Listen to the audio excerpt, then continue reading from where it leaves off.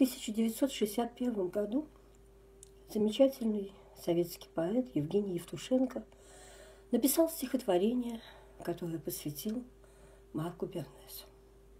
Конечно, потом эти стихи стали песней, но тем не менее этот текст и сегодня остается чудесным текстом о войне.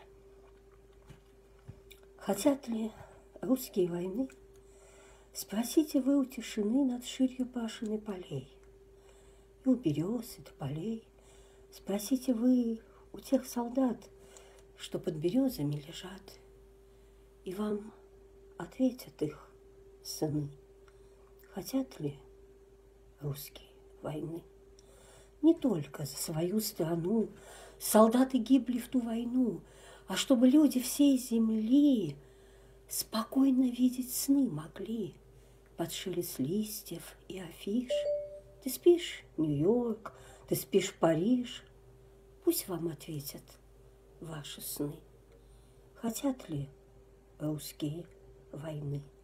Да, мы умеем воевать, но не хотим, чтобы опять солдаты падали в бою за землю грустную свою. Спросите вы у матерей, спросите у жены моей, и вы тогда понять должны, хотят ли русские войны. Мы хотим, чтобы мир был навсегда.